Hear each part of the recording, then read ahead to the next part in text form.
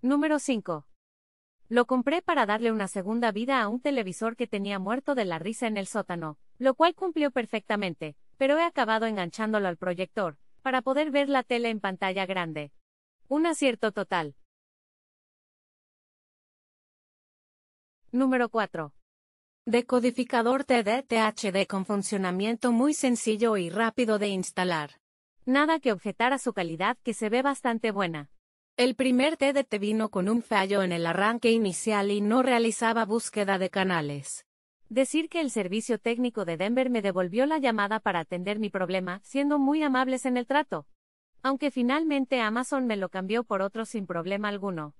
Como siempre, servicio post-venta de Amazon, inmejorable. Servicio técnico de Denver, genial. Número 3.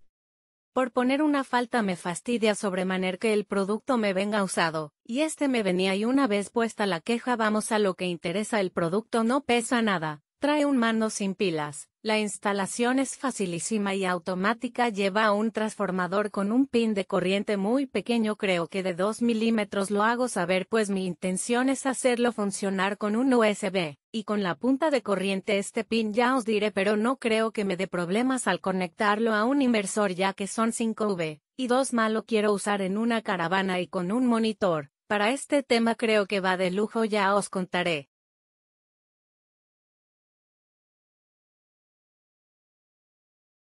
Número 2.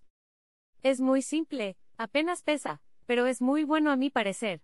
Lo estoy utilizando para poder ver la televisión en un proyector, de manera que conecto la toma de antena al sintonizador, y este lo conecto por HDMI al proyector.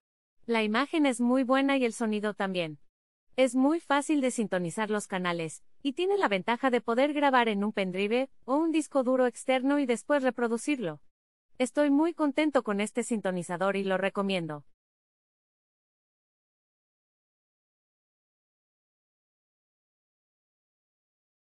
Número 1.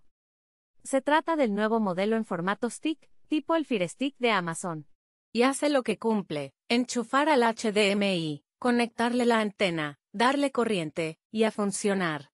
La respuesta de los menús es muy rápida, la búsqueda de canales también, y el cambio entre ellos también.